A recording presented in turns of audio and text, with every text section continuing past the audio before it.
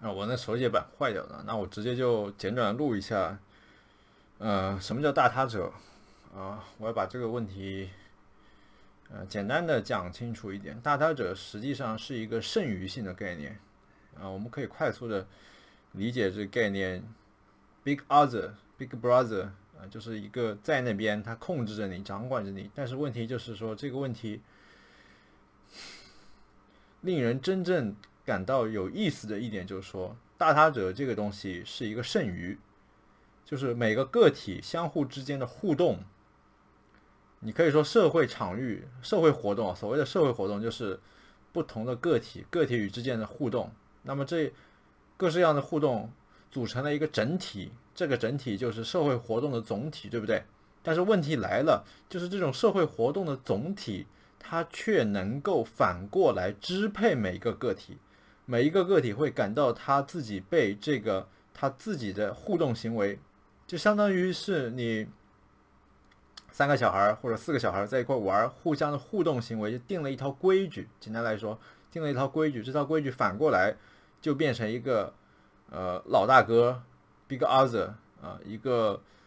呃我们都是比如说四五个小孩，他会组建一个什么帮，定个什么帮规，对吧？然后这个帮规，这个帮。这个概念就变成一个 big other，在他自己的头脑里面，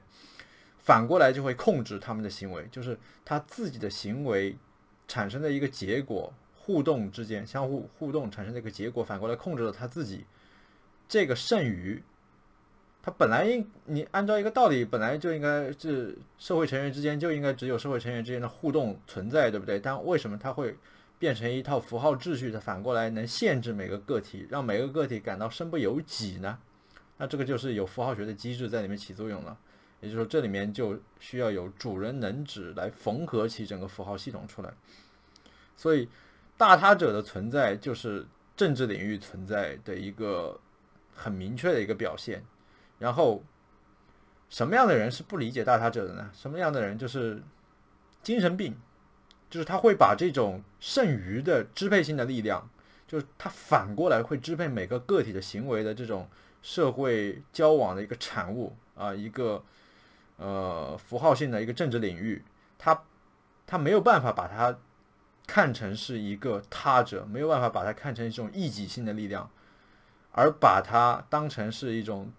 属于自己的 subjectivized，把它主体化。把大他者给主体化，那么这样的人在生活中，我我们呃精神分析上会很精确的把这种人叫做 psycho，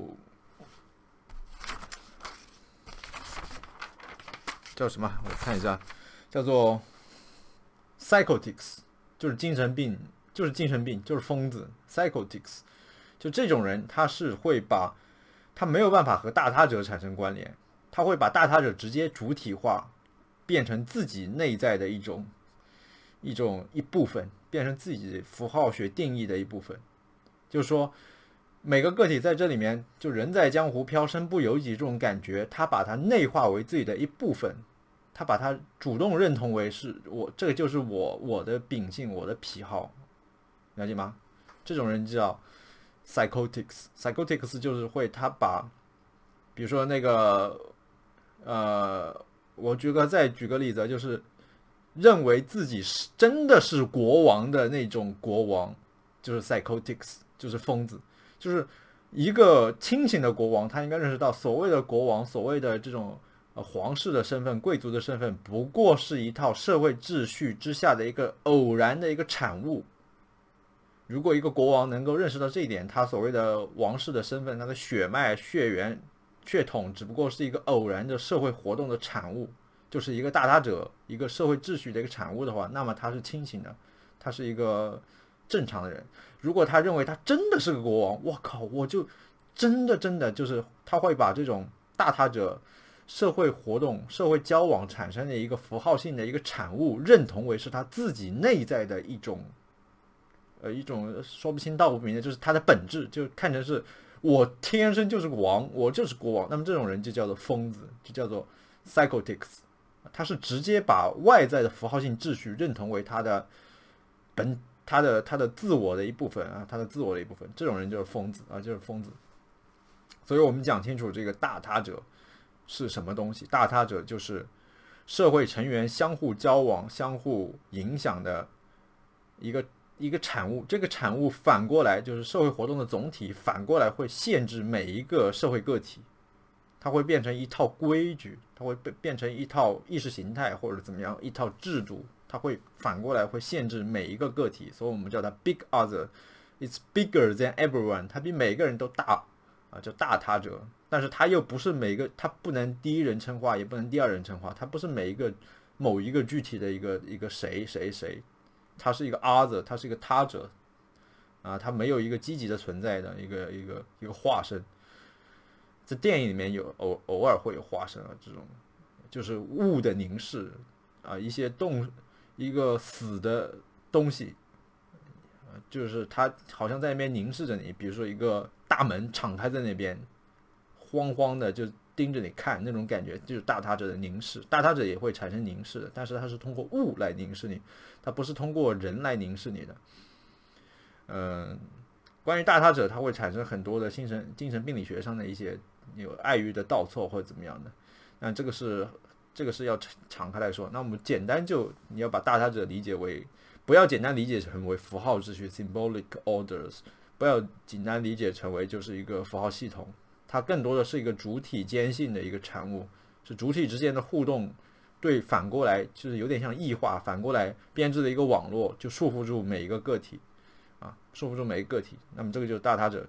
无法。把握到大他者，把这个大他者直接理解成是自己的本质的那种人，就是 psychotics，就是精神病，就是疯子，就是真的相信自己是国王的那种、那种、那种、那种、那种人，那种国王，就是一个疯子认为自己是国王，这个疯的不是很严重，但是一个国王真的相信他自己是国王，这个人已经疯到极点了，就是他没有办法把握到大他者的存在，没有办法把握到他所。生存的这个符号秩序的存在，他他所处的这个主体间关系网络，赋予的他偶然的非常偶然的巧合的让他成为国王，啊，疯子，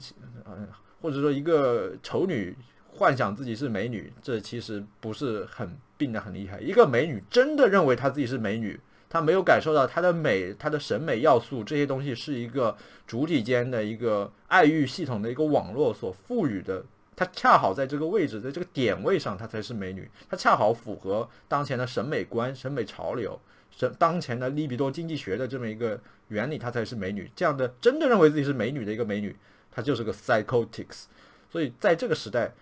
这个审美异化的时代，就是你只要长得帅、长得漂亮的人，或多或少都可以有这种 psychotics 这种感觉，就是一种直直接的把自己认同为是这种东西啊。subjectivize subjectivize the symbolic order subjectivize the big other 这种人就是 psychotics 好吧那我们差不多讲清楚了